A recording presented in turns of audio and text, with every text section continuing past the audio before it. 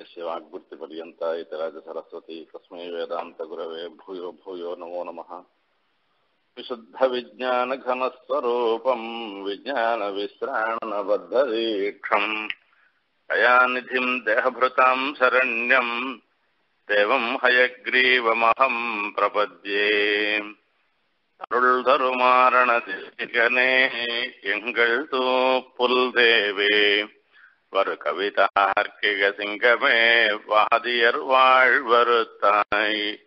இருகையும் கூப்பி உரைக்கும் விண்ணப்பம் ஒன்று கேளாய்.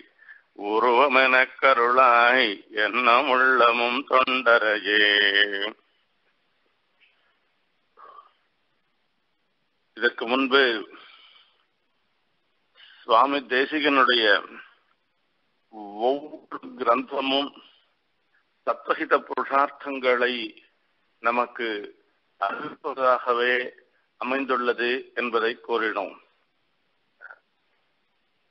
சத்வஹித புருஷார்த்தங்களை சொல்லும் பொழுது அவரவர்களுடைய நிலைக்கு ஏற்ப சொல்வதாக அந்தந்த கிரந்தங்கள் அமைந்துள்ளன. அந்த ரீதியிலே விசிஷ்டாத்வைத சித்தாந்தத்தை எல்லோரும் அறியும்படியாக சங்கல்ப சூரியோதயம் என்னும் நாடகத்தை தேசிகன் அருளி செய்தார் என்பதை போன வாரம் நாம் பார்த்தோம். இப்பொழுது இந்த சங்கல்ப சூரியோதயம் என்னும் தலைப்பில் இந்த நாடகம் அமைந்ததற்கு காரணம் என்ன? அந்த சங்கல்ப சூரியோதயத்துக்கு பெயர் பொருத்தம். அந்த நாடகத்தின் பெயர் பொருத்தம் எப்படி இருக்கின்றது என்பதை பார்க்க வேண்டும். சங்கல்பம் என்றால் எண்ணம் என்று பொருள். யாருடைய எண்ணம் என்றால் எம்பெருமானுடைய எண்ணம். பகவத் சங்கல்பம். அந்த பகவத் சங்கல்பமாகிற ஒரு சூரியோதயம். சூரியோதயம் என்பது சூரியன் அதாவது சூரியோதயம் ஆவதற்கு முன்பு வரை இருளாக இருந்தது. அதற்கு பிறகுதான் சூரியோதயம். சூரியோதயம் என்பது இருளை போக்கடிக்கக்கூடியது. இருட்டில் நம்மால் அந்த வஸ்துக்களின் உண்மையான நிலையை அறிய முடியாது. அந்த இருள் போனால்தான் நாம் அந்த வஸ்துக்களின் இயல்பான நிலையை அறிந்து கொள்ள முடியும். எம்பெருமானுடைய சங்கல்பமாகிற ஒரு சூரியோதயம் என்ன செய்கிறது என்று கேட்டால் நம்மால் எல்லா வஸ்துக்களுடைய இயல்பு நிலையை அறிய செய்கின்றது என்று சொல்லலாம். எல்லா வஸ்துக்களுடைய இயல்பான நிலை என்று கேட்டால் எம்பருவானுடைய சங்கல்பமாகிற சூரியோதயம் இருந்தால்தான் நம்மை நம்மால் அறிந்து கொள்ள முடியும். அது இல்லாமல் போனால் நம்மையே நம்மால் அறிந்து கொள்ள முடியாது என்ற பொருள். இது என்ன நம்மை நம்மால் அறிந்து என்று ஒரு கேள்வி வரும். நான் நான் என்று நாம் சொல்லுகின்றோம். நான் என்று சொல்லும் பொழுது அது யாரை குறிக்கின்றது அது எப்படிப்பட்டது என்பதை பார்க்க வேண்டும். நான் என்றது ஜீவாத்மாவை குறிக்கின்றது. இந்த நான்றது இந்த ஜீவாத்மா எப்படிப்பட்டதாக இருக்கின்றது என்று எம்பெருமானுக்கு அடிமையாகவே இருக்கின்றது. இந்த ஜீவாத்மாவனுடைய இயல்பு சுவாபாவிகமாகவே எம்பெருமானுக்கு தாசனாக இருந்து கொண்டிருக்கின்றது என்பதை இந்த நான் என்று சொல்லும் பொழுது சொல்லக்கூடிய ஜீவாத்மாவின் இயல்பான நிலையை எம்பெருமானுடைய சங்கல்பத்தாலே தான் நாம் தெரிந்து கொள்ள முடியும். இல்லாவிட்டால் நம்மால் தெரிந்து கொள்ள முடியாது. ஏஷ ஈஷ இது நிர்ணயந்திரேயரகிதேஷு நோதிஷேத் என்று சொல்லுகின்றார் புறத்தாழ்வான்.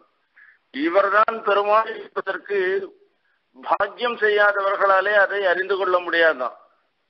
அதற்கும் ஒரு பாக்கியம் செய்ய வேண்டும். அந்த பாக்கியம் எப்படி வரும் என்றால் பகவத் சங்கல்பத்தினாலே தான் வரும். அந்த எம்பெருமானுடைய சங்கல்பத்தினாலே நம்மை நாம் அறிந்து கொண்டு நமக்கு சேகபூதமாக நாம் சேகமாக இருக்கின்றோம். நமக்கு சேகையாக இருந்திருக்கிற எம்பெருமானையும் அறிய செய்வது அந்த பகவத் சங்கல்பம் தான் அந்த பகவத் சங்கல்பமாகிற ஒரு சூரியோதயம் ஆனால் நம்மை நம்மால் அறிந்து கொள்ள முடியும்.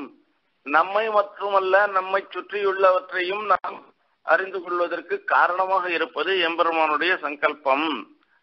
இந்த எம்பெருமானுடைய சங்கல்பமாகிற சூரியோதயத்தினாலே சம்சாரமாகிற இருள் போகின்றது. அதற்கு முன் இருக்கின்ற இருள் இந்த சம்சாரத்தில் நாம் இருப்பதனால் இந்த பிரகிருதி சம்பந்தம் இருப்பதனாலே நம்மால் எதையும் உண்மையாக அறிய முடியாத ஒரு நிலை. இப்பொழுது பகவத் சங்கல்பமாகிற சூரியோதயம் ஆன பிறகு நம்மால் இந்த பிரகிருதி சம்பந்தமாகிற இருளை போக்கி உண்மையான நிலையை அறியும்படி செய்கிறது என்பதை சொல்லுகிறது. இப்படி பகவத் சங்கல்பமாகிற ஒரு சூரியோதயத்தினாலே தான் சம்சார நிவர்த்தி ஏற்படுகிறது என்று சொல்லும் பொழுது இதற்கு மூல காரணம் என்னவென்று பார்க்க வேண்டும். எம்பெருமானை அடைவதற்கு உபாயமாக பக்தி பிரபத்தி இவை இரண்டையும் கூறுகின்றது வேதம். அப்படி உபனிஷத்துக்களிலே சொல்லக்கூடிய பக்தி பிரபத்தி என்கிற என்னும் உபாயங்களை அனுஷ்டிப்பவர்கள் அதை செய்பவர்கள் யார் என்று கேட்டால் இந்த ஜீவாத்மாக்கள் தான். அந்த ஜீவாத்மாக்கள் பக்தி பிரபத்தியை செய்வதனாலே தான் எம்பெருமானை அடைகின்றார்கள். அப்படி இருக்கும் பொழுது எம்பெருமானை அடைவதற்கு காரணமாக இருப்பது பக்தி பிரபத்தி தான் என்று சொல்ல வேண்டுமே தவிர பகவத் சங்கல்பம் தான் எம்பெருமானை அடைவதற்கு காரணம் என்று சொல்ல முடியுமா என்று ஒரு கேள்வி ஏற்படுகிறது. அதற்கு உபனிஷத்து சொல்லுகின்றது நாயமாத்மா பிரவச்சன லப்யா ந மேதையா ந பகுனாஸ்ருதேன என்று. ஸ்ரோதவியோ மந்தவியோ நிதித்தியாசித்தவியா என்று உபனிஷத்தில் விதிக்கப்பட்டிருக்கின்றது. நாம் பிரம்ம விஷயமாக பிரம்மத்தை அறிந்து கொள்ள வேண்டும் அதை கேட்க வேண்டும். அது கேட்ட பிறகு சிரவணம் முதலிலே சிரவணத்துக்கு விதி சொல்லப்படுகிறது. அதுக்கு பிறகு நாம் கேட்டதை மனநம் செய்ய வேண்டும். மீண்டும் மீண்டும் அதையே சொல்ல வேண்டும். அது நம்மளுடைய மனதில் இருக்கும்படியாக பண்ண வேண்டும். அதற்கு அடுத்தது பிறகு என்ன பண்ண வேண்டும் என்றால் நிதித்தியாசனம். நிதித்தியாசனம் என்பது தியானம். அந்த தியானத்தை செய்ய வேண்டும். அதற்கு பிறகுதான் நமக்கு சாட்சாத்காரம் என்பது ஏற்படும் என்று சொல்லுகின்றார். ஆனால் இப்படி விதி இருந்தாலும் கூட இது ஒன்னு நாளிலேயே நாம் செல்கிற முயற்சி ஒன்னு நாளிலேயே எம்பெருமானை நம்மால் அறிய முடியாது. என்று முண்டகோபனிஷத் சொல்லுகின்றது. நாயமாத்மா பிரவச்சனேன லப்யா ந மேதையா ந பகுனாஸ்ருதேன. எமே வைஷவிருணத்தே தேன லப்யா. தசீஷ ஆத்மா விவருணத்தே தனும் சுவாம் என்று முண்டகோபனிஷத் சொல்கிறது அயம் முக்தோ பவத்து. இவன் முக்தனாக ஆகட்டும் என்று எம்பெருமான் எண்ணினால்தான் உபாசனம் செய்கின்ற புருஷன் எம்பெருமானை அடைய முடியும். அவனுக்கு சம்சார நிவர்த்தி என்பது ஏற்படும். அப்படி எம்பெருமானுடைய சங்கல்பம் அந்த சங்கல்பம் தான் அவனை அடைவதற்கு முக்கியமான காரணம் என்று சொல்லுகின்றார். அப்ப பக்தி பிரபத்தி உபாயங்கள் உள்ளன. பக்தி பிரபத்தி உபாயங்களாக உபனிஷத்தில் சொல்லப்பட்டதற்கு காரணம் என்ன? நாம் பக்தியும் செய்ய வேண்டாம் பிரபத்தியும் செய்ய வேண்டாம். நாம் வெறும் இருந்தால் போரும். அப்பொழுது எம்பெருமானே நமக்கு அவன் எப்பொழுது தோன்றுகிறதோ அப்பொழுது நமக்கு முக்தியை கொடுக்கட்டும் என்று ஒரு கேள்வி வரும். அது சுவாமி தேசியம் ரகசிய திரைசாரத்திலே இந்த மாதிரி சித்தோபாய சோதனாதிகாரத்திலே வெகு அழகாக இந்த கேள்விக்கு சமாதானம் சொல்லுகின்றார். எம்பெருமானுடைய சங்கல்பத்தினாலே தான் நமக்கு சம்சார நிவர்த்தி என்பது ஏற்படுகிறது. அதில் எல்லளவும் சந்தேகம் இல்லை. ஆனால் எம்பெருமான் நமக்கு மோட்சத்தை கொடுப்பதற்கு சக்தி உள்ளவனா நாம் கட்டப்படுகிறோம் என்பதை அவன் அறிகிறானா? அவனுக்கு கருணை உண்டா? என்றெல்லாம் கேள்வி வருகின்றது. அதற்கு சமாதானம் சொல்லுகின்றார். யுகபதி அகிலம் பிரத்யக்ஷேன ஸ்வதகா சததம் விதன்னு என்று. பெருமாள் ஒரே சமயத்திலே எல்லாவற்றையும் எல்லா லோக்கத்திலும் இருக்கக்கூடிய வஸ்து ஜாத்தங்கள் என்னென்ன உண்டோ அத்தனையும் பார்க்கின்றாராம். அதுலேயும் அனுமானத்தினால பார்க்கவில்லை பிரத்யக்ஷேன அப்படியே பிரத்யக்ஷமாக நேரடியாக பார்க்கின்றாராம்.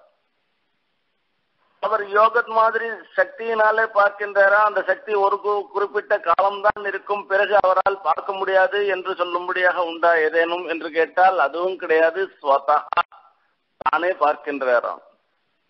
சரி இப்படிப்பட்ட ஒரு சர்வஜத்துவம் என்பது ஒரு சில காலத்தில் மாத்திரம் இருக்கும் மீதி காலத்தில் இருக்காது என்பது உண்டோ என்று கேட்டால் அது கிடையாது. சத்ததம் எப்பொழுதும் பார்க்கின்றார் என்று சொல்லுகின்றார். யோகோ யோவேத்தி யுகபத் சர்வம் பிரத்யக்ஷேண சதா ஸ்வதா என்று நாதமுனிகள் சாதிக்கின்றார். அப்பேற்பட்ட எம்பெருமானுக்கு நமது இங்கு சம்சாரத்தில் உழல்பவர்களின் கஷ்டம் எல்லாம் தெரியும் அவருக்கு. அந்த விதத்திலே எந்த விதமான சந்தேகமும் கிடையாது. ஏன்னா ஒருத்தன் கஷ்டப்படுறான்னு தெரிஞ்சாதானே அவனை வந்து அந்த கஷ்டத்திலிருந்து நீக்க முடியும். அந்த கஷ்டத்தை அவனுக்கு விளக்க முடியும். அப்படி இருக்கச்சே இப்ப எம்பெருமான் எம்பெருமானுக்கு நாம கஷ்டப்படுறது சம்சாரத்துல கஷ்டப்படுறது தெரியுமா என்ற ஒரு சந்தேகம் வரும். அந்த சந்தேகத்துக்கு பதில் இந்த முதல் வரியிலே சொல்லுகின்றார். சரி கஷ்டப்படுறத பார்த்தாக்கா அவனுக்கு ஒரு கருணை இருக்கணும். இவனுடைய கஷ்டத்தை போக்கடிக்கணும்ன்றதுல ஒரு எண்ணம் இருக்கணும். அந்த எண்ணம் அவருக்கு இருக்கோ இல்லையோ என்னன்னு தெரியலையேன்னு கேட்டோம்னா அதுக்கு பதில் சொல்ற நிரவதி தயா திவ்யோதன்வான் என்பது. அளவிட முடியாத தயை எல்லையில்லாத தயை அந்த தயையாகிற ஒரு சமுத்திரம். நம்ம சமுத்திரம் நாம பார்த்துட்டு இருக்கிற உப்பு கடல் அல்ல அது திவ்யமான சமுத்திரம். நாம பார்த்துட்டு இருக்கிற உப்பு கடலுக்கு ஒரு எல்லை இருக்கின்றது. நம்ம கண்ணில் வேணா தெரியலையே தவிர இது எவ்வளவு ஒரு எவ்வளவு எல்லைன்றது ஓரளவு நம்மளால சொல்ல முடியும். ஆகையால அதை எண்ணி பார்க்க முடியும். அப்படி எண்ணி கூட பார்க்க முடியாததாக இருந்திருக்கிற திவ்யமான சமுத்திரமாகிற தயை. அப்பேற்பட்ட தயை உடையவனாக இருந்திருக்கிறவர் பெருமாள். ஆகையால அவருக்கு கருணை கடலாக இருக்கின்ற எம்பெருமான் நம்முடைய கஷ்டத்தை அவர் பார்த்துட்டு இருக்க மாட்டார். கண்டிப்பா நமக்கு அந்த நம்மளுடைய கஷ்டத்தை போக்கடிப்பார் என்பதில் சந்தேகம் இல்லை சரி அப்படி இருந்தாலும் கூட அவருக்கு செய்வதற்கு அதாவது ஒரு செயலை செய்வதற்கு அவரால் முடியுமா மோட்சம் கொடுக்க முடியுமா என்கிற ஒரு சந்தேகம் வரும். என்ன சிலர சிலரால் சில செயல்களைத்தான் செய்ய முடியும். ஆரோக்கியம் பாஸ்கராதிச்சேத்து ஐஸ்வர்யந்து ஹுதாசனாத்து என்று சொல்லப்படுகிறது. நமக்கு ஆரோக்கியம் வேணும் என்று கேட்டால் சூரியனிடத்திலே பிரார்த்தனை செய்தால் சூரியன் ஆரோக்கியத்தை கொடுப்பான். ஐஸ்வர்யம் வேணும் என்று கேட்டால் அதற்கு அக்னி பகவானை பிரார்த்தனை செய்தால் அக்னி பகவான் ஐஸ்வர்யத்தை கொடுப்பார். ஞானம் வேணும் என்றால் ருத்ரனை அணுகி பெயர். அவர் கல்வி கடவுளாக இருந்திருக்கார். மோட்சமிச்சே ஜனார்த்தனாத்து மோட்சம் வேணும் என்று கேட்டா யாருண்ட போனோம்னா பெருமாள்கிட்ட போனாதான் மோட்சம் கிடைக்கும். இவன் மூணு பேராலும் மோட்சம் கொடுக்க முடியாது. இவாள்லாம் ஒவ்வொரு பலத்தை தான் கொடுக்கிறவளாக இருந்த கொடுக்கிறவர்களாக இருந்துருக்கா? ஆனா எம்பெருமான் சகல பல சகல பலப்பிரதோகி விஷ்ணு என்று எல்லா பலத்தையும் கொடுப்பவராக இருந்திருக்கார். அப்பேற்பட்ட எம்பெருமான் நமக்கு எல்லாவற்றை எல்லா பலத்தையும் கொடுக்க வல்லவராக இருக்கிறபடினாலே அவர் மோட்சம் கொடுக்க வேணும் என்று நினைத்தால் மோட்சத்தை கொடுக்க போறார். அதுல எந்த விதமான சந்தேகம் இல்லை. அப்படி இருக்கச்சு இந்த சம்சாரத்துல உழல்கின்ற ஜீவாத்மாக்களுக்கு அனுகிரகம் செய்து இவர்களுக்கு இவர்களுக்கு மோட்சத்தை கொடுக்கலாம் இல்லையோ? என்ன கேட்டா இப்ப மோட்சத்தை கொடுத்துட்டாருனாக்க இந்த பிராகிருத்தம்ன்றது ஒன்னே எல்லா ஜீவாத்மாவுக்கும் கொடுத்துட்டாருன்னா பிராகிருத்தம்ன்றது ஒன்னே இல்லாத போயிடும். எல்லா ஜீவா இங்க மொத்தம் காலி பண்ணி போக வேண்டியதுதான். சரி கொடுக்காத போயிட்டாருனாக்க அப்போ ஒரு சிலருக்கு தான் கொடுக்கிறார் ஒரு சிலருக்கு கொடுக்கல அப்படின்னாக்க அதுக்கு காரணம் எம்பெருமானுடைய சுவாதந்திர விசிஷ்டமான கருணை சுதந்திரத்தோட. அவருடைய சுவாதந்திரம்ன்றது யாராலையும் கொஸ்டின் பண்ண முடியாதது. ஆகையால அவர் கொடுக்கிறாருன்னு சொல்லி சொல்லணும். அப்போ அவருடைய சுவாதந்திரம் யாராலையும் கொஸ்டின் பண்ண முடியாது. அதன் பிரகாரம் கொடுக்கிறாருனாக்க வைஷமிய நைக்ஷண்யம் என்கிற தோஷம் வந்துடும். ஒரு பட்சபாத்தம் யாருக்கு கொடுக்கிறார்? மீது எல்லாரும் சமமாக இருந்திருக்கச்சே ஒத்தனுக்கு மாத்திரம் நன்மை புரிவது என்பது பட்சபாத்தம் அப்படி பட்சபாதத்தை செய்வதாக ஆகிறது. நைர்கண்யம் என்பது அவன் கஷ்டப்பட்டு கொண்டிருக்கிறவனை பார்த்து இன்னும் மேலும் மேலும் கஷ்டப்படட்டும்னு நினைக்கிறது இருக்கு அது நைர்கண்யம். இது இரண்டும் தோஷங்கள். இந்த ரெண்டு தோஷங்களும் எம்பெருமானுக்கு வந்துடும். இந்த தோஷங்கள் வராத இருக்கிறதுக்காக பெருமாள் என்ன பண்றார்? அவரவர்கள் செய்த கர்மா வினை பயனுக்கு ஏற்ற அவரவர்களுக்கு பலத்தை கொடுக்கின்றார். அவர்கள் செய்த வினைப்பயனில் ஏதேனும் ஒரு சுக்கிருத்தம் இருக்குமேயானால் அந்த சுக்கிருத்தத்தை முன்னிட்டு கொண்டு அவனுக்கு ஆச்சாரிய கட்டாட்சம் ஏற்படும்படியாக செய்து அவனை பக்தி பிரபத்தி என்று சொல்லக்கூடிய உபாயங்களில் ஏதேனும் ஒன்றை மூழும்படியாக செய்வதும் எம்பெருமான் தான். அந்த பக்தி பிரபத்தி என்னும் உபாயத்தில் அவர்கள் மூண்டதனாலே எம்பெருமானை இந்த எம்பெருமான் அவர்கள் திறத்திலே ஆதரத்தை காண்பித்து அவர்களுக்கு மோட்சத்தை கொடுக்கின்றார். இந்த பக்தி பிரபத்தி என்று கூறப்படும் உபாயங்கள் இரண்டும் எம்பெருமான எம்பெருமானை வசீகரணம் செய்வதற்கு உபாயமே தவிர மோட்சத்தை கொடுப்பதற்கு நேர் உபாயம் இல்லை என்பதுதான் சித்தாந்தம். இதை நாம் நன்கு அறிந்து கொள்ள வேண்டும். பக்தி பிரபத்தி என்பது மோட்ச சாதனம் தான் ஆனாலும் கூட பிரதானமான காரணம் இல்லை ஒவ்வொன்றுத்துக்கும் பிரதான காரணம் சககாரி காரணம் என்று காரணங்கள் இருவகைப்படும் ஒவ்வொரு செயலுக்கும். அந்த மாதிரி விழும் வரும் பொழுது பிரதான காரணமாக இருப்பது எம்பெருமானுடைய சுவாதந்திரிய விசிஷ்டமான கருணைதான் பிரதான காரணம். அந்த பிரதான காரணம் அந்த கருணை என்பது எம்பெருமானுடைய சங்கல்பம். அந்த சங்கல்பம் இல்லை என்றால் எண்ணம் இல்லை என்றால் ஒருவராலும் எம்பெருமானை அடைய முடியாது. அந்த எம்பெருமானுடைய சங்கல்பமாகிற ஒரு சூரியோதயம் ஏற்பட்டால்தான் நமக்கு சம்சாரமாகிற இருள் அகலும். அதைத்தான் சங்கல்ப சூரியோதயம் என்கிற தலைப்பிலே சுவாமி தேசிகன் நாடகமாக இங்கு அமைத்துள்ளார். இந்த நாடகத்தில் சொல்லும் விஷயமும் பகவத் சங்கல்பம் ஒன்று நாளேயே நமது அஜானம் போய் நமக்கு மெய்ஞானம் ஏற்படும். அந்த மெய்ஞானத்தினாலே நாம் மோட்சத்தை அடையும் அடைய வழி வகுக்கும் என்பதை சொல்லுகின்றார். இது சங்கல்ப சூரியோதயம். இந்த பகவத் சங்கல்பத்தினாலே தான் எல்லாம் நடக்கும் என்பதை உபனிஷத் சொல்லுகின்றது. அனோரணீயான் மகதோ மகீயான் ஆத்மா குஹாயாம் நிஹிதோஸ்ய ஜந்தோः தமக்ரதும் பசியதி வீதசோகः தாத்து பிரசாதான் மகிமானமீசம் வீதசோகோ பவதி. எப்படி ஜெகத் தாத்து பிரசாதாத்து லோகத்தெல்லாம் சிருஷ்டிச்ச எம்பெருமானுடைய அனுகிரகத்தினாலேதான் சோகத்தை விட்டவனாக ஆவான். சோக்கத்தை விட்டவனாக ஆவது எப்பொழுது முக்தனாக ஆகும்படி அந்த முக்தனாக ஆவதற்கு முக்கியமான காரணமாக இருப்பது பகவத் சங்கல்பம்தான். பக்தி பிரபத்தி என்கிற உபாயங்கள் இரண்டும் அந்த எம்பெருமானை வசீகரணம் செய்வதற்காக ஏற்பட்ட உபாயங்கள். தஸ்ய வசீகரணம் தச்சரணாகதிகி என்று ஸ்ரீபாஷ்யக்காரர் அருளி செய்கிறார். அந்த பகவத் பிரசாத ரூபமான சங்கல்பம் மூலமாகத்தான் எல்லாவற்றையும் உண்மை பொருளை அறிய வேண்டும் என்பதை இந்த நாடகத்திலே தெளிவிப்பதற்காக ஏற்பட்டது இந்த நாடகம். ஆகையால் சங்கல்ப சூரியோதயம் என்னும் நாடகத்தினுடைய பெயர் பொருத்தம் சால சிறந்ததாக அமைந்துள்ளது என்பதில் எந்த விதமான சந்தேகமும் இல்லை. இந்த நாடகத்தினுடைய கருப்பொருளை பார்க்க வேண்டும். இந்த நாடகத்துக்கே ஒரு சிறப்பு. நாமும் எத்தனையோ நாடகங்கள்லாம் பார்க்கின்றோம். அந்த நாடகங்கள்ல வரக்கூடிய கதாபாத்திரங்கள் கதாபாத்திரங்கள்லாம் சாதாரணமாக புராணத்தில் வரக்கூடிய கதாபாத்திரங்களாக இருக்கலாம். அல்ல அவரவர்களுடைய எண்ணங்களுக்கு ஏற்ப புதுசு புதுசாக கதாபாத்திரங்களை சிருஷ்டி பண்ணுவார்கள்.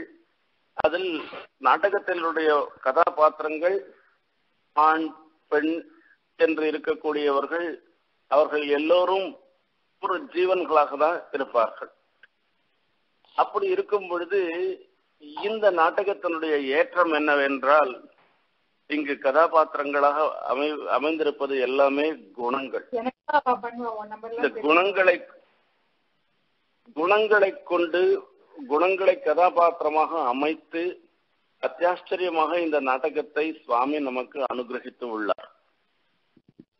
அப்படி கூட வருமா குணங்களை போய் கதாபாத்திரமாக செய்யலாமா குணங்கள் குணி சார்ந்திருக்க ஒரு விஷயத்தை சார்ந்திருக்கக்கூடியவைதான் அவை.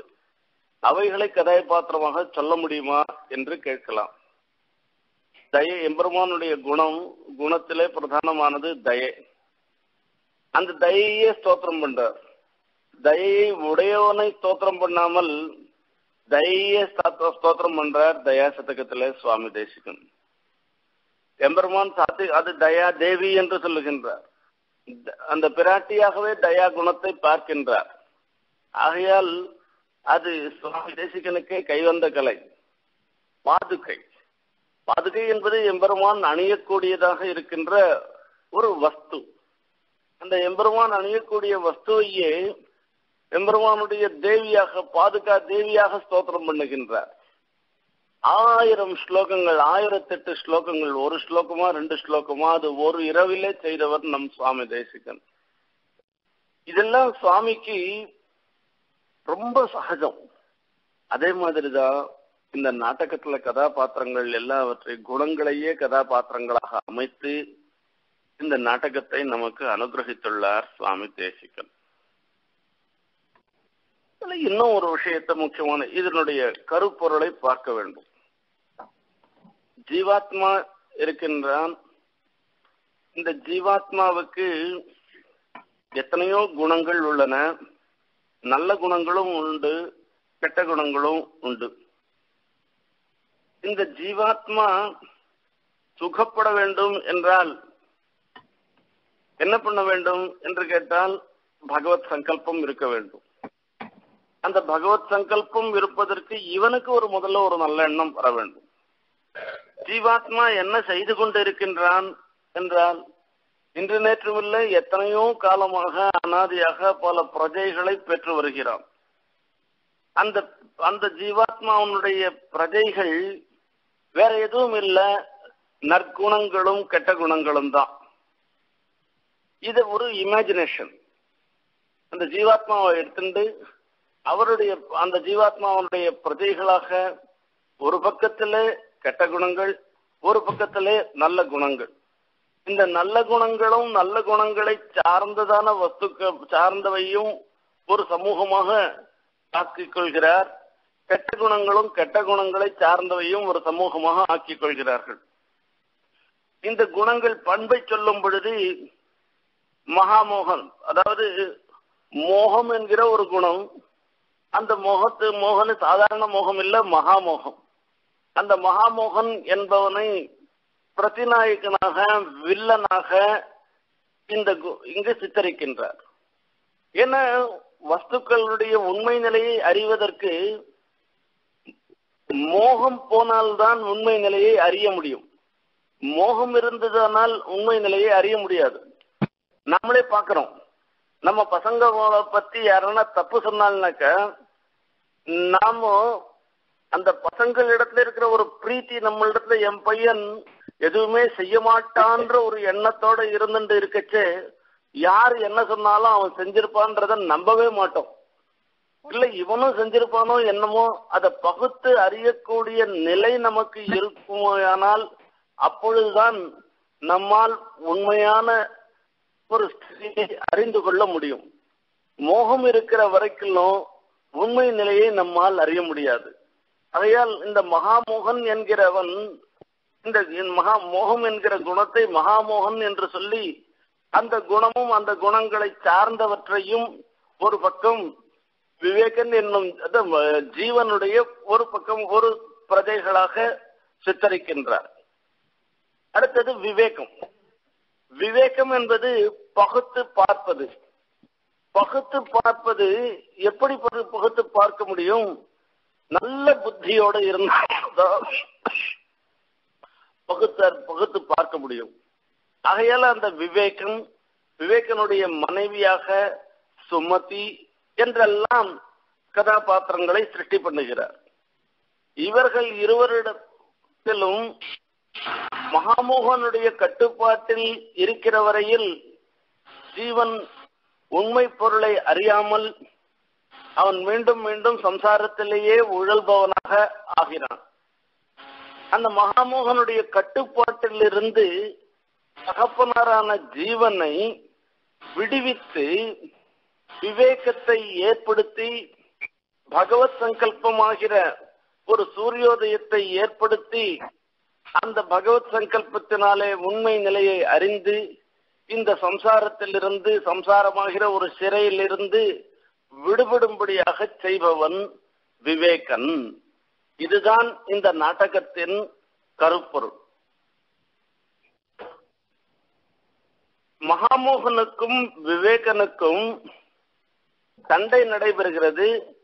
இந்த சண்டையில் இறுதியில் விவேகன் மகாமோகனை அழித்து தகப்பனாகிற ஜீவனை மகாமோகனுடைய பிடியிலிருந்து விடுவிக்கிறான் என்பதை ஒரு இந்த நாடகத்தின் உட்பொருளாக அமைத்து வெகு அழகாக பத்து அங்கங்கள் அங்கங்களை கொண்டு இந்த சங்கல்ப சூரியோதயம் என்னும் நாடகத்தை சுவாமி நமக்காக அனுகிரகித்து உள்ளார்.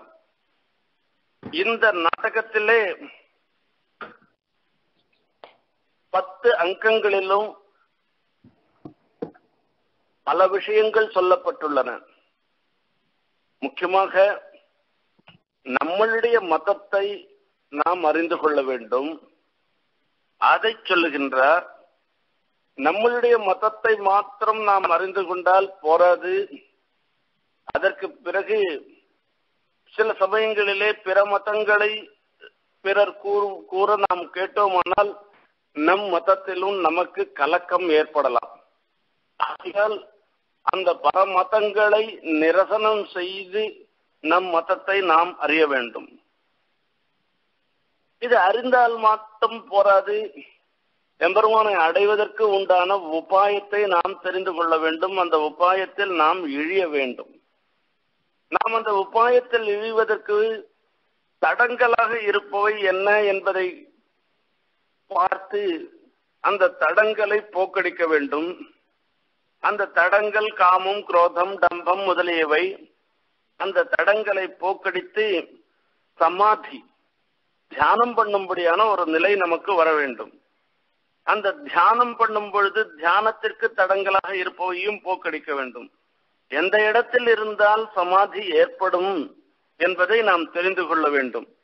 இப்படி இவை எல்லாவற்றையும் தெரிந்து சமாதி சம்பத்தி ஏற்பட்ட பிறகு பகவத் சங்கல்பம் என்கிற ஒரு சூரியோதயம் ஏற்பட்டு நாம் உண்மை நிலையை அறிந்து சம்சார நிவிருத்தி ஜீவனுக்கு ஏற்படுகிறது என்கிற விஷயத்தை மூலமாக கொண்டு சுவாமி தேசிகன் இந்த சங்கல்ப சூரியோதயம் என்னும் நாடகத்தை அமைத்துள்ளார். அத்தியுதமான நாடகம். இந்த நாடகத்திலே அமைந்துள்ள கதாபாத்திரங்களை பார்க்க வேண்டும். ரொம்ப ரொம்ப பிரமாதமான கதாபாத்திரங்கள். ஏன்னா இப்படி எல்லாம் ஒரு கதாபாத்திரம் வருமான்னு நாம நினைச்சு கூட பார்க்க முடியாத கதாபாத்திரங்கள். இந்த கதாபாத்திரங்களிலே நாயகன் யாரு? பிரதிநாயகன். பிரதிநாயகன் என்று சொன்னால் வில்லன். இந்த வில்லன் யாரு என்று பார்க்க வேண்டும். நாயகனாக இருப்பவர் யாரு? கதாநாயகனாக இருப்பவர் விவேகன். பிரதிநாயகனாக இருப்பது மகாமோகன். நற்புணங்கள் அந்த விவேகனுடைய அதாவது விவேகம் என்பது எது பரதத்துவம் எது அவரதத்துவம் என்பதை எது நல்லது எது கெட்டது எது சுத்தம் எது அசுத்தம் என்று பகுத்து பார்க்கக்கூடிய ஒரு நிலை. மோகம் இருந்தது என்றால் நல்லது கெட்டதையோ நல்லவன் கெட்டவன் என்றோ சுத்தம் எது அசுத்தம் ஏதோ எது உயர்ந்தது எது தாழ்ந்தது என்பதை அறியவே முடியாது. ஆகையால் மகாமோகன் வில்லன் விவேகன் கதாநாயகன். மகாமோகனுடைய மனைவி சுமதி. சுமதி என்பதற்கு குட் சென்ஸ் என்று சொல்லலாம். நல்ல எண். மகா விவேகன் விவேகனுடைய மனைவி சுமதி மகாமோகனுடைய மனைவி துர்மதி. நாயக்க கதாநாயகனுடைய மனைவி சுமதி வில்லனுடைய மனைவி துர்மதி. சுமதியினுடைய தோழிகள் ஸ்ரத்தா விசாரணா என்பவர்கள். இது ஸ்ரத்த. விசாரணை. விசாரணை என்பது அதை பகுத்து பார்த்து பார்ப்பது. விவேகனுக்கு சேனாபதி விவசாயம் இதுல தர்க்கம் சாரதியாக இருக்கின்றது வாதம் சிஷ்யனாக இருந்திருக்கிறது. இப்படியெல்லாம் கதாபாத்திரங்கள் விவேகனை சார்ந்த கதாபாத்திரங்கள். மகாமோகனை சார்ந்த கதாபாத்திரங்கள் துர்மதி அவனுடைய மனைவி துர்மதி காமன் அவனுக்கு முக்கியமான ஒரு சேனாபதி மாதிரி இருக்கின்றான் காமன் காமன் ரதி. காமனுக்கு துணை போ ரதி காமனுடைய மனைவி இவர்கள் இருவருமாக சேர்ந்து அந்த மோகத்தை ஏற்படுவதற்கு வழிவகுக்கின்றார்கள். வசந்தனுடைய துணையை கொண்டுதான் காமன் எல்லாவற்றையும் செய்கிறான். வசந்தன் காமனுடைய நண்பன். குரோதம் லோபம் தம்பம். தம்பம்னு டம்பம். இவையெல்லாம் அந்த மகாமோகனுடைய கட்சியில இருக்கிறவர்கள். இந்த தம்பன் டம்பனுடைய மனைவி குஹனா. லோபனுடைய மனைவி திருஷ்ணா. தர்ப்பன். ரொம்ப ஒரு கொழுப்படுத்து இருக்கிறவன். அவனுடைய மனைவி அசூயா. இவர்கள் எல்லாரும் மகாமோகனுடைய பட்சத்தை சார்ந்தவர்கள். இப்படி கதாபாத்திரங்களை ஏற்படுத்தி சுவாமி இந்த சங்கல்ப சூரியரையும் என்னும் நாடகத்தை அமைத்துள்ளார். இது இதற்கப்புறம் இது என்னத்துக்காக இந்த மாதிரி இந்த நாடகத்தை ஏற்படுத்தினார் என்று பார்க்க வேண்டும். சுவாமி தேசிகனுடைய ஒவ்வொரு காவியமுமே தத்வஹித புருஷார்த்தங்களை நமக்கு அறிவிப்பதாக இருக்கிறது என்பதை நாம் எவ்வளவோ முறை சொல்லி இருக்கின்றோம். சுவாமி சுவாமி காலத்துல இருக்கச்சே எதெல்லாம் சிறந்ததுன்னு சொல்கின்றார்களோ அந்த அவைகளுடைய சிறப்பு சுவாமியை பற்றி அறிவதற்கு முன் இருந்த நிலைதான். சுவாமியினுடைய கிரந்தம் வந்துடுத்துனாக்க அவைகளுக்கு அந்த சிறப்பு போயிடுறது. காளிதாசனுடைய ரகுவம்சத்தை எல்லோரும் போற்றினார்கள். அந்த ரகுவம்சத்தினுடைய சிறப்பை விஞ்சும்படியான சிறப்போடு கூடியிருக்கின்ற காவியத்தை அருளி செய்தார் யாதவாபிதயம் என்னும் மகாகாவியத்தை சூரியவம்சத்தோருடைய பெருமையை சொல்வதாக ரகுவம்சம் அமைந்திருந்தது என்றால் சந்திரவம்சத்தினுடைய பெருமையை சொல்லும்படியாக யாதவாபிதயம் அமைந்துள்ளது. அந்த கண்ணனுடைய பெருமையை சொல்கின்ற யாதவாபிதயம் வந்த பிறகு ரகுவம்சம் ஒரு பகலிலே இருக்கக்கூடிய நட்சத்திரம் மாதிரி ஆயிடுத்துன்னே சொல்லலாம். நமது சித்தாந்தத்தையும் சொல்லி ஒரு காவியத்திற்கு என்னென்ன ரசங்கள் இருக்க வேண்டும் என்று சொல்லுகின்றார்களோ ஒரு காவியம் என்றால் அதற்கு என்னென்னலாம் இருக்கணும்னு சொல்றாலோ அத்தனையோடையும் ஃபார்முலா மாதிரி வச்சு அத்தனையோடையும் அமைந்த மிகச்சிறந்த காவியம் யாதவாபியுதயம் அந்த ரகுவம்சம் சாதாரணமாக தத்துவகித புருஷார்த்தங்களை சொல்லாது ஆனா இது யாதவாபியுதயம் தத்துவகித புருஷார்த்தங்களை சொல்லி நமக்கு சம்சார நிவர்த்தியை ஏற்படுத்தும்படியான ஒரு மகாகாவியம் யாதவாபியுதயம் அதை சுவாமி தேசிகன் சாதித்தார். காளிதாசன் மேக சந்தேசத்தை பண்ணினான். அந்த மேக சந்தேசம் என்பது ஒரு காமுக்கன் தன்னுடைய காதலிக்கு சொல்லக்கூடிய ஒரு விஷயம். மேகத்தை தூது விடுவதாக ஒரு அமைந்த ஒரு தூத்து காவியம். ஆனால் கஷ்டித் கஷ்டித் காந்தா என்று எவனோ ஒருவன் என்று ஆரம்பிக்கின்றான் காளிதாசன். அந்த எவனோ ஒருவன் என்று சொல்லாமல் ராமபிரான் சீதா பிராட்டிக்கு தூது அனுப்பிக்கின்ற விஷயமாக சொல்லி ஹம்சத்தை கொண்டு தூது அனுப்பிக்கின்றார். அதை கருப்பொருளாக கொண்டு ஹம்ச சந்தேசம் என்னும் காவியத்தை அத்தியுதமான சந்தேச காவியத்தை சுவாமி அருளி செய்தார்.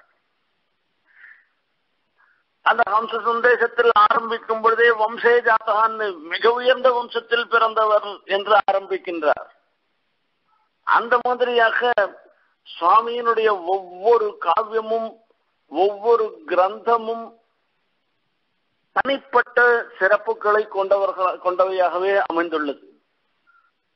ஆகையால சுவாமி தேசிகன் அந்த முறையிலே சங்கல்ப சூரியோதயம் என்னும் நாடகத்தை அருளி செய்வதற்கு காரணமாக இருந்தது சுவாமி தேசிகனுடைய முன் காலத்திலே கிருஷ்ணமிஸ்ரர் என்னும் ஒரு மகான் பிரபோத சந்திரோதயம் என்னும் நாடகத்தை செய்ததுதான் என்றும் சொல்லலாம். கிருஷ்ணமிஸ்ரர் என்னும் அத்வைத சாஸ்திர வித்வான் சங்கராச்சாரியருடைய கொள்கைகளை தெரியப்படுத்தும்படியாக பிரபோத சந்திரோதயம் என்னும் நாடகத்தை இயற்றியுள்ளார். அந்த பிரபோத சந்திரோதயத்திலே உபனிஷத்தினுடைய சித்தாந்தம் சங்கரருடைய எண்ணம் பிரகாரம் அந்த சித்தாந்தத்தை பிரச்சாரம் செய்வதற்காக ஏற்பட்டது. அந்த சங்கரருடைய சித்தாந்தப்படி தத்துவஜானத்தினாலே மோட்சம் என்பது கோட்பாடு. நமக்கு பகவத் சங்கல்பத்தினாலே மோட்சம் என்று நாம் சொல்லுகின்றோம். அவர்கள் சொல்லுகின்றார் தத்துவஜானம் பிறந்ததேயானால் மோட்சம் வரும் என்பதாக. இந்த தத்துவஞானமாகிற பிரபோதம் பிரபோதம்னா அறிவு. அந்த தத்துவஞானமாகிற அறிவு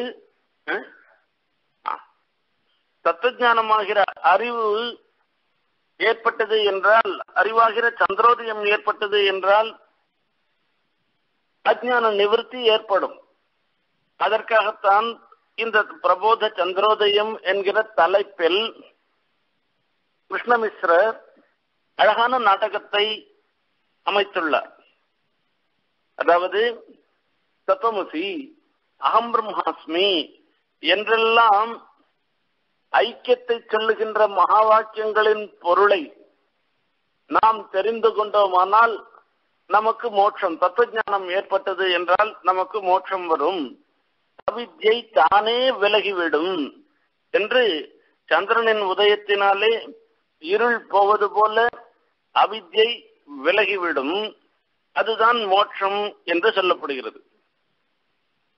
அந்த பிரபோத சந்திரோதய நாடகமும் ஆறு அங்கங்களை கொண்டதாக அமைந்துள்ளது. அதிலும் விவேகந்தான் நாயகன் மகாமோகன் தான் வில்லன். அங்கு சமதமாதிகள் அஹிம்சா முதலியவை விவேகனை சார்ந்த கதாபாத்திரங்கள். காமம் குரோதம் லோபம் இவையெல்லாம் மகாமோகனை சார்ந்த பாத்திரங்கள்.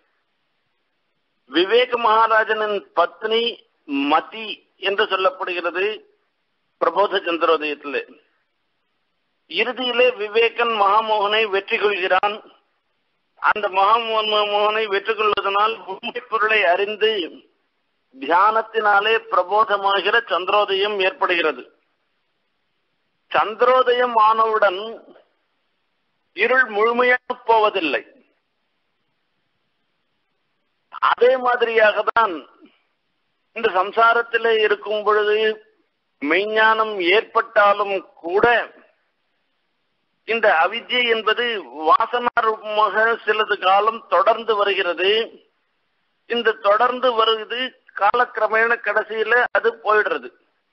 ஆகையால இந்த நாடகத்திற்கு பிரபோத சந்திரோதயம் என்று பெயர் வைத்தது ரொம்ப பொருத்தமாக அமைந்துள்ளது அத்வைத சித்தாந்திகளின் கோட்பாடுகளின்படி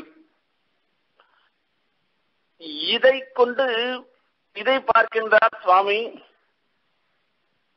ஏன் நமது சித்தாந்தத்தை கருப்பொருளாக கொண்டு இந்த மாதிரி நாடகம் செய்யக்கூடாது பண்ணக்கூடாது என்று? அதற்காக ஏற்பட்டதுதான் சங்கல்ப சூரியோதயம். நாம் ஏற்கனவே சொல்லி இருக்கின்றோம் திருஷ்ய காவியம். இது விஷுவல் பேசிஸ் இந்த விஷு இந்த திருஷ்ய காவியங்களுக்கு மீதி காவியங்களை காட்டிலும் சிறப்பு அதிகம். ஏனென்றால் சட்டுன்னு எல்லாருடைய மனசிலையும் புகும்படியாக இருப்பது இந்த திருஷ்ய காவியம். ஆகையால இந்த நாடகத்திற்கு திருஷ்யம்னு பேரு இந்த நாடகத்தினாலே நம்மளுடைய கோட்பாடுகளை எல்லார் மனசிலும் புரியும்படியாக பண்ணுவது எளிது நாடகம் மூலமாக பண்ணுவது எளிது. அதன் பிரகாரம் செய்கின்றார் சுவாமி. இந்த நாடகத்திற்கு சங்கல்ப சூரியோதயம் என்கிற பெயரை வைத்து இந்த நாடகத்தை சாந்த ரசத்தை மையமாக கொண்டு அமைத்துள்ளார். அப்பேற்பட்ட இந்த நாடகத்தினுடைய சிறப்பை இதுவரையிலும் பார்த்தோம். இனி இந்த நாடகத்தினுடைய விஷயத்தை நேரடியாக பார்ப்போம். இந்த நாடகத்தை பற்றி ஏற்கனவே அடைய விண்ணப்பித்த பிரகாரம் நாடகங்கள் நாடகத்துல இருக்கிற ஜிஸ்ட மாத்திரம் கருப்பொருளை மாத்திரம் சொல்லவில்லை. இந்த நாடகத்துல இருக்கிற ஸ்லோகங்கள் எல்லாமும் பார்த்து அங்கங்க இருக்கக்கூடிய வாக்கியங்களுடைய பொருளும் இதையும் சேர்த்து அனுபவிக்க வேண்டும் என்று இருக்கின்றோம் ஆகையால் அதன் பிரகாரம் இது உபன்யாசமாக மாத்திரம் இல்லாமல் காலக்ஷேபமாகவும் இருக்க என்கிற ரீதியிலே இந்த நாடகத்தினுடைய அர்த்தத்தை என் விண்ணப்பிக்க முயற்சி செய்கின்றேன். இதில் முதல் அங்கத்திலே சுவாமி தேசிகன் முதலில் ஏழு ஸ்லோகங்கள் அமைத்துள்ளார். அந்த ஸ்லோகத்தினுடைய ஸ்லோகங்களுடைய அர்த்தத்தை பார்ப்போம். यद्भक्ति प्रचयात्मके दिनमुखे दृष्टिक्षमः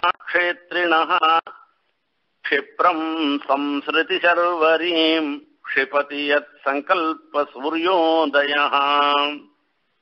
तत्त्वैरस्त्रविभूषणैः अधिगतः, स्वाधीननित्योन्नतिः।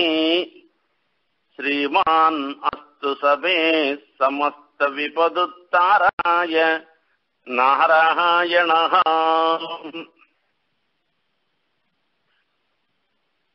நாடகங்களுக்கு லட்சணங்கள் சொல்லப்பட்டுள்ளன.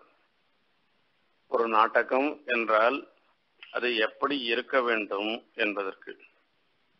நாடகத்திற்கு தொடக்கம் நாந்தி என்று சொல்லப்படுகிறது. நாந்தி என்பது சந்தோஷத்தை அளிப்பது என்ற அர்த்தம். இது நாடகமே சந்தோஷத்தை அளிக்கக்கூடியதுதான். நாடகம் தொடங்குவதற்கு முன்ன அந்த ஸ்டேஜ் அரங்கம் அரங்கத்துக்கு பூஜை பண்றது. அந்த அரங்கத்துக்கு பூஜை பண்ணுபவர்கள் அரங்கத்துக்கு பூஜை பண்ணும் பொழுது அந்த நாடகத்தை ஆரம்பிக்கிறவங்களுக்கு நல்ல முறையிலே இந்த நாடகம் முடிவு பெற வேணும் என்பதற்காக யாரெல்லாம் நடிக்கிறார்களோ அவர்களுக்காக இது டைரக்டர்னு வச்சுக்கோங்களேன் அவர்களுக்காக பண்ணுவது ஒண்ணு. யாரெல்லாம் இந்த நாடகத்தை பார்க்கின்றார்களோ அவர்களுக்கும் நன்மை ஏற்பட வேணும் என்கிற இரண்டு எண்ணங்களோடு கூட முதலில் அந்த அரங்கத்திற்கு பூஜை செய்கிறார்கள். அந்த அரங்கத்திற்கு பூஜை செய்வதுதான் நாந்தி என்று சொல்லப்படுகிறது. இந்த நாந்தியிலே இது இரண்டு ஸ்லோகங்கள் உள்ளன இங்கு. இந்த நாந்திக்கு சில லட்சணங்கள்லாம் இருக்கும். நாந்தியாக சொல்லக்கூடிய அந்த ஸ்லோகங்கள் அது எப்படி இருக்க வேண்டும் என்றால் பதினெட்டு பதங்களை கொண்டவையாக இருக்க வேண்டும் என்று சொல்லப்படுகிறது. அல்லது எட்டு பாதங்களை உடைய உடைத்தானவையாக இருக்க வேண்டும் என்று. எட்டு பாதங்கள் என்றால் இரண்டு ஸ்லோகங்களாக ஆக வேண்டும். அல்லது பதினெட்டு பதங்கள் அந்த ஸ்லோகத்திலே பதினெட்டு பதங்கள் இருக்க வேண்டும் என்று. இந்த இடத்துல நாந்தி ஸ்லோகமாக இரண்டு ஸ்லோகங்களை அமைத்துள்ளார் சுவாமி தேசிகன். ஆகையால் எட்டு பாதங்களை உடைத்தானதாக இருந்திருக்கு. ஒவ்வொரு ஸ்லோகத்திலும் பதினெட்டு பதினெட்டு பதங்களும் உள்ளன. இதெல்லாம் நாந்திக்கு லட்சணம். இந்த நாந்தி லட்சணத்துக்கு இதுக்கு இது சபையோர்களுக்கு இதுக்கு அடுத்தது என்ன என்று கேட்டால் தொடக்கம். நாந்தி அந்த நாந்தி முடிந்தவுடனே சூத்திரதாரர் சொல்லுவார். இந்த சூத்திரதாரர் என்ன சொல்லுவார்? இந்த நாடகத்தினுடைய சிறப்பு நாடக ஆசிரியருடைய சிறப்பு இதெல்லாம் சொல்லுவார். அதுக்கப்புறமா நாடக விஷயத்தினுடைய பாத்திரங்களுடைய அறிமுகம். அதற்கு பிறகு முக்கிய பாத்திரங்களுடைய செயல் தொடக்கம். இப்படி நாடகங்கள் நாடகங்கள் அமைந்துள்ளது அமைந்துள்ளன. அதிலையும் பார்க்க வேண்டும். இதெல்லாம் வந்து நாடக லட்சணத்திலே சொல்லியிருக்கிறபடி முறை. அதன் பிரகாரம் சுவாமி தேசிகன் இங்கு இரண்டு ஸ்லோகங்களை நாந்தியாக சொல்லுகின்றார். ஒரு ஸ்லோகம் பக்தி விஷயமானது மற்றொரு ஸ்லோகம் பிரபத்தி விஷயமானது. இந்த முதல் ஸ்லோகத்தை பார்ப்போம் இப்பொழுது.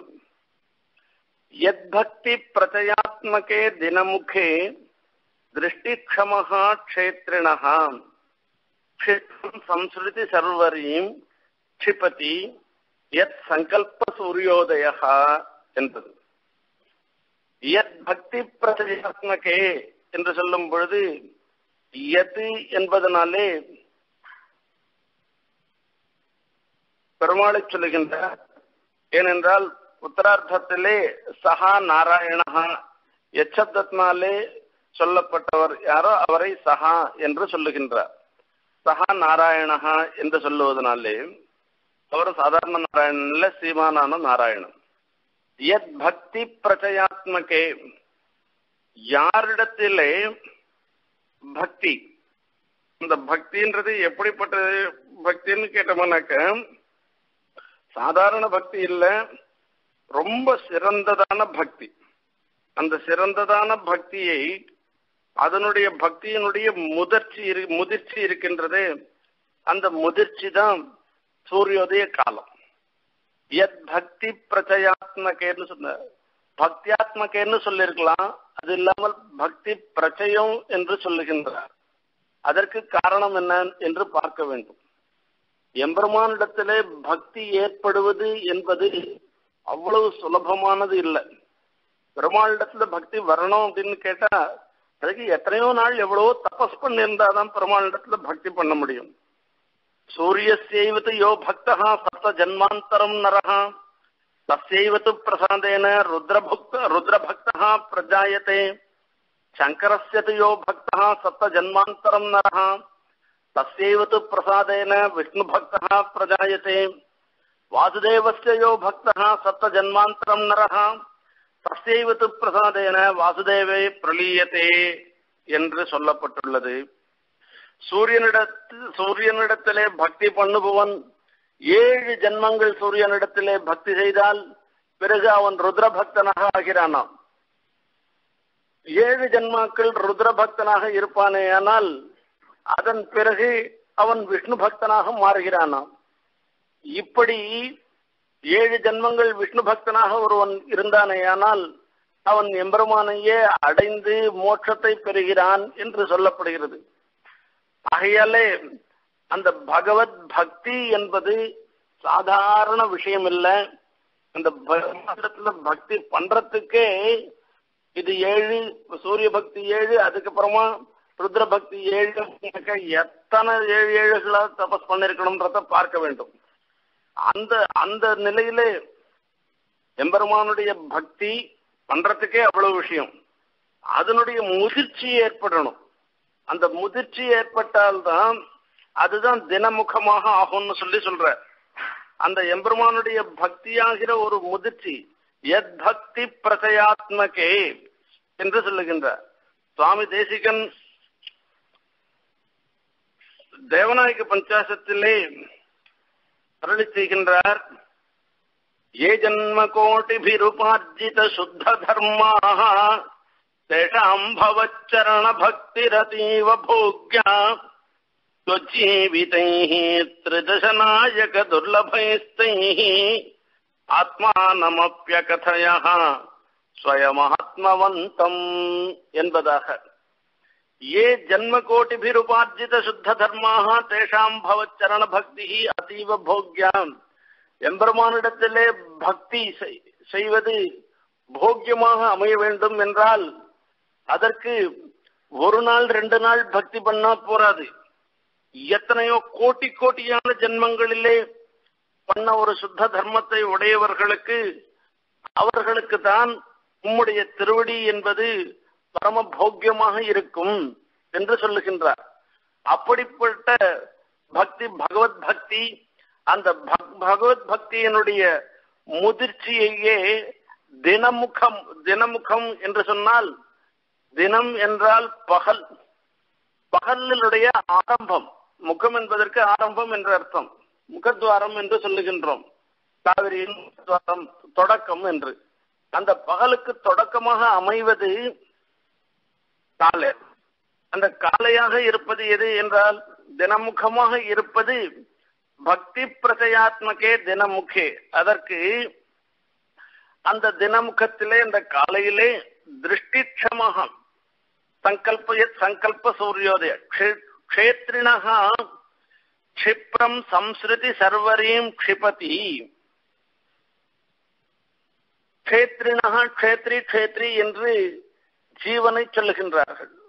அந்த ஜீவன்களுடைய சம்ஸ்ருதி சர்வரி சம்சாரமாக இருள் அந்த சம்சாரமாகிற இருளை வெகு வேகமாக போக்கடிப்பதாக அமைந்திருப்பது யத் சங்கல்ப சூரியோதயா என்ற எம்பெருமானுடைய சங்கல்பமாகிற ஒரு சூரியோதயம்.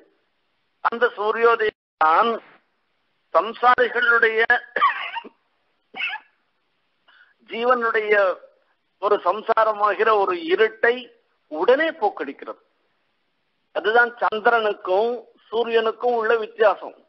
சந்திரன் இருட்டை முழுமையாக போக்கடிக்காது. ஆனால் சூரியன் இருட்டே இல்லாதபடி பண்ணிடும் இது பகவானுடைய சங்கல்பமாகிற ஒரு சூரியோதயம் இருந்துருக்கு என்ற சூரியத்தினால. சூரியோதயம் சம்ஸ்ருதி சர்வரையும் க்ஷிப்ரம் க்ஷிபதி போக்கடிக்கிறது என்று சொல்லுகின்றார். இந்த பகவத் சங்கல்பத்தினாலே ஏற்படுகின்ற சூரியோதயத்திற்கும் நாம் தினமும் பார்க்கின்ற சூரியோதயத்திற்கும் வித்தியாசம் உண்டு. இது சூரியோதயம் ஆகும் இந்த நாம் தினமும் பார்க்கிறது சூரியன் உதயமும் ஆகும் அஸ்தமனமும் ஆகும். ஆனா பகவத் சங்கல்பத்தினாலே ஏற்படுகிற ஒரு சூரியோதயம் இதனால் நாம் தத்துவ ஞானத்தை அறிகின்றோம். இந்த சூரியோதயம் இனிமேல் இருளே இல்லாதபடி பண்ணக்கூடிய ஒரு சூரியோதயம். இதுதான் இந்த பகவத் சங்கல்பத்தினாலே ஏற்படுகிற சூரியோதயத்துக்கு உண்டான ஒரு சிறப்பு. பகல் கண்டேன் நாரணனை கண்டேன் என்று ஆழ்வார் அருளி செய்கின்றார். இது பகல்தான். பகலாயத்துனா இனிமே பகலாவே தான் இருக்குமே தவிர மறுபடியும் இருட்டே வராது. அப்பேற்பட்டது இது. அந்த எம்பெருமன் எப்படி எழுந்தருளி இருக்கின்றார் என்பதை அடுத்து சொல்லுகின்றார். தத்வைரஸ்திர விபூஷணை அதிகதா சுவாதீன நித்யோன்னதி ஸ்ரீமான் அத்து சமே சமஸ்த விபதுத்தாராய நாராயணா பிராட்டியோடு சேர்ந்திருக்கின்ற அந்த நாராயணன் எனக்கு எல்லா தடங்களையும் போக்கடித்து அனுகிரகம் செய்பவராக ஆகட்டும் என்று பிரார்த்தனை செய்கின்றார். அந்த பெருமாள் எப்படிப்பட்டவராக இருந்திருக்கார் என்று கேட்டால் தத்வை ரஸ்திர விபூஷணை அதிகதகாம் இந்த லோகத்துல தத்துவங்கள்னு சொல்லக்கூடியதாக இருந்திருக்கிற ஜீவன் பிரகிருதி மகத்து அகங்காரம் இந்திரியங்கள் போன்றவை எல்லாம் எம்பெருமானுக்கு அலங்காரமாக திகழ்கின்றன. இந்த தத்துவங்களுக்கு எல்லாம் அதிபதியாக சொல்லப்படுபவர்கள் நித்தியசூரிகள். அவர்கள் எல்லாரும் எம்பெருமானுக்கு ஆயுதங்களாகவும் ஆபரணங்களாகவும் திகழ்கின்றனர். அஸ்திரபூஷணாத்தியாயம் என்று விஷ்ணு புராணத்திலே ஒரு அத்தியாயம் இருக்கின்றது. சுவாமி தேசிகன் ரகசிய திரைசாரத்திலே சொல்லுகின்றார் புருடன் மணிவரமாக பொன்னாமூல பிரகிருதி மருவாக மான் தண்டாக இருடீகங்கள் ஈரைந்தும் சரங்களாக இருபூத மாலை வனமாலையாக என்றெல்லாம் சொல்லி கருட நிறுவாம் அறையின் பொருளாங் கண்ணன் கரிகிரி மேல் நின்று அனைத்தும் காக்கின்றானே என்று சொல்லுகின்றார். இந்த தத்துவங்கள் எல்லாம் எம்பெருமானுடைய பூஷணங்களாகவும் அஸ்திரங்களாகவும் இருக்கின்ற நிலையை அங்கு அதைதான் நீங்கும் நினைக்கின்றார். தத்வை ரத்ர விபூஷணை ரதிகதாம் சுவாதீன நித்யோன்னதிகி எம்பெருமானுக்கு எப்பொழுதுமே சிறப்பு தான் அந்த சிறப்பு வேற யாரானாலும் வருதா என்று கேட்டால் நமக்கு நம்முடைய நமக்கு ஏதான ஒரு சிறப்பு வருது என்று கேட்டால் அந்த சிறப்பு ஆச்சாரிய அனுகிரகத்தினால வரலாம் பகவத் அனுகிரகத்தினால வரலாம். ஆனா எம்பெருமானுக்கு வரக்கூடிய சிறப்புக்கு காரணம் அவரே தான் தன்னுடைய சாதீனத்தினாலே வரக்கூடியது. நமக்கு சிறப்பு எப்பயோ ஒரு சில சமயத்துல வரலாம் சில சமயத்துல உன்னதி என்பது சில சமயத்துல வரலாம். ஆனா எப்பொழுதுமே அவருக்கு வருகிறது. சவுஸ்ரேயான் பவதி ஜாயமானஹா. நாம ஒவ்வொரு வாட்டி பறக்கச்சே பறக்கச்சேயும் நம்மளுடைய பாப்பத்தினாலேயோ கர்மாவனாலே இந்த பிறப்புன்றது நாம் அடைகிறோம். ஆனா பெருமாள் ஒவ்வொரு வாட்டி அவதாரம் பண்ணச்சேயும் அவருக்கு ஒரு சிறப்பு ஏற்படுகிறதாம். அந்த சிறப்பெல்லாம் எதனால யாருடையதுன்னா எதையும் சார்ந்து இல்லை அவரையே சார்ந்திருக்கின்றது. அப்படிப்பட்ட நித்தியோன்னதியை உடையவராக இருந்திருக்கிறவர் சகா நாராயணகா அப்பேற்பட்ட நாராயணன் சகான்னு சொன்னதுனால அந்த நாராயணனுடைய சங்கல்பமாகிற ஒரு சூரியோதயம் இந்த லோகத்துல இருக்கின்ற சம்சாரிகளுடைய ஜீவன்களுடைய சம்சாரத்தை போக்கடித்து சம்சார நிவர்த்தியை ஏற்படுத்தி திருஷ்டிக்ஷமகா பகுத்து அறிக்கும் அறிவும்படியான ஒரு நிலையை ஏற்படுத்துகின்றது. அப்பேற்பட்ட நாராயணன் மே எனக்கு எல்லா தடங்களையும் நீக்கி அனுகிரகம் பண்ணட்டும் என்று பக்தியை மையமாக கொண்டு இந்த அரங்கத்திலே ஸ்ரீரங்க சந்திரனை ஸ்தோத்திரம் பண்ணுகின்றதாக அமைந்துள்ளது. இந்த முதல் ஸ்லோகம் நாந்தியில் உள்ள முதல் ஸ்லோகம். அடுத்தது பிரபத்தியை சொல்லக்கூடியதான ஸ்லோகம். இப்படி இன்றைய தினத்திலே நாந்தியினுடைய முதல் ஸ்லோகம் வரைக்கும் இன்று பார்க்கின்றோம் அடுத்த ஸ்லோகத்தை அடுத்த உபன்யாசத்திலே பார்ப்போம் யத்பக்தி பிரச்சயாத்மகே தினமுகே திருஷ்டிக்ஷமः க்ஷேத்ரிணः क्षिप्रम् संसृति शर्वरीम् क्षिपति यत् सङ्कल्पसूर्योदयः तत्त्वैरत्र विभूषणैरधिगतः स्वाधीननित्योन्नतिः श्रीमान् अस्तु समे समस्तविपदुत्तराय नारायणः நமக்கும் அந்த பெருமானுடைய சங்கல்பத்தினாலே அஜ்ஞானம் போய் அவருடைய மெய்ஞானம் அவர் விஷயமான மெய்ஞானம் ஏற்பட வேண்டும் என்று எம்பெருமானை பிரார்த்தித்துக் கொண்டு இந்த உபன்யாசத்தை நிறைவு செய்கிறேன் கவிதார்க்கிக சிம்ஹாய கல்யாண குணசாலினே ஸ்ரீமதே வெங்கடேஷாய வேதாந்த குரவே நமஹா